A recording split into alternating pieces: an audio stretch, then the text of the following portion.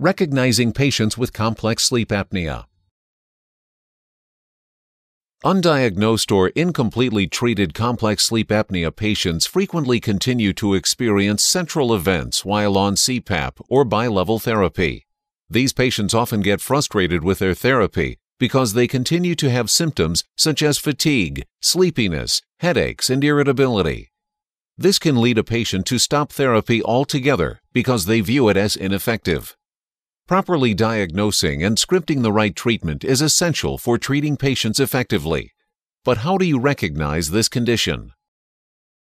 It is best to identify complex sleep apnea during a patient's titration study.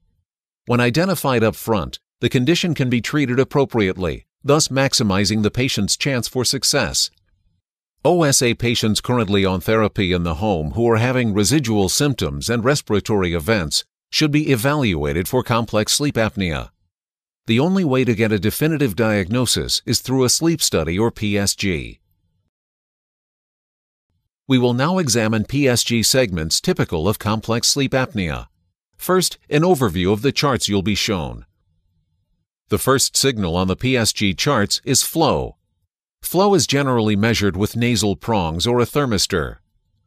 The second signal is thoracic effort and shows when a patient is making an effort to breathe. The third signal is abdominal effort and also shows patient effort to breathe.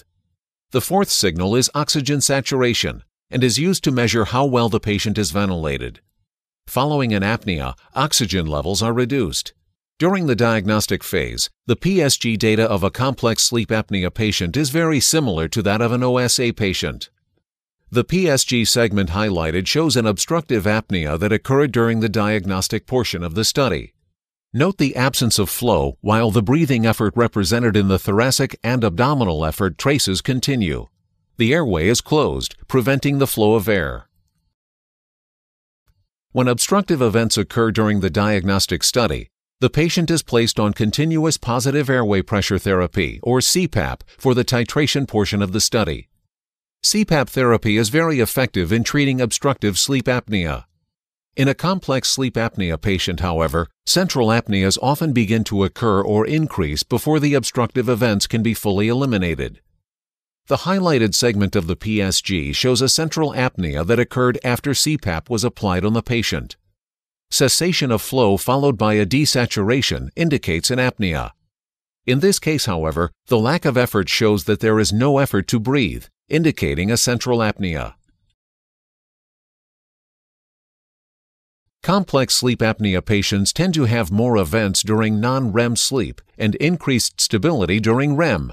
Here is an example of a complex sleep apnea patient in non-REM sleep. Note the apneic events. Here is an example of a patient in REM. Note the stability and absence of apneic events. Understanding the characteristics of complex sleep apnea is the first step in recognizing and treating the condition.